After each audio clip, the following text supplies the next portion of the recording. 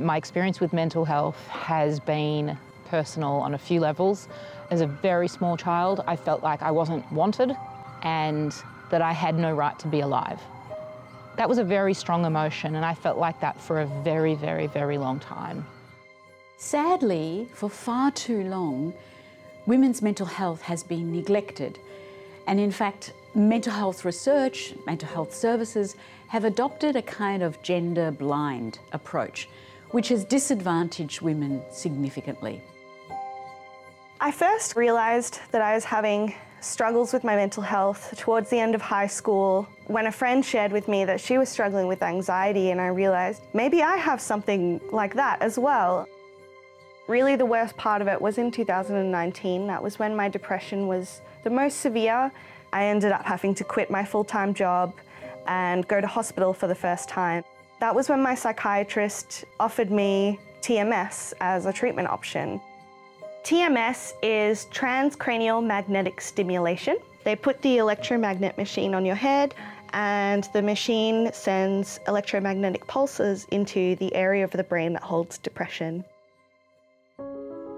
By establishing Her Centre Australia, we see ourselves as a beacon, as a concentrating force to actually get the understanding about women's mental health and not just to highlight the problems, but to provide new solutions.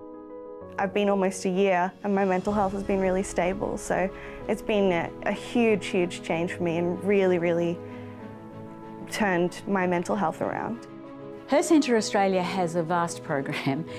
First and foremost is in collaboration with women who have lived experience of the conditions.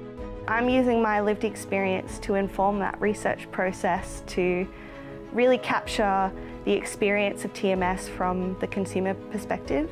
We also work in a multidisciplinary fashion and we have a number of different research projects. They range in methods from even laboratory work through to actual clinical trials. So I was flicking through Facebook and I saw an ad from Her Centre Australia asking for participants. I've never picked up the phone faster in my life. The rest, as they say, is history. It was it was life-changing. I felt like an entirely new person. Using this particular centre and all of the facilities at Monash University, Alfred Health and Cabrini Health, we conduct world-class research. We then translate that into cutting-edge treatments that are offered to women in our clinics and in our inpatient unit. And then we use that information in our online course to educate health professionals and postgraduate, undergraduate students.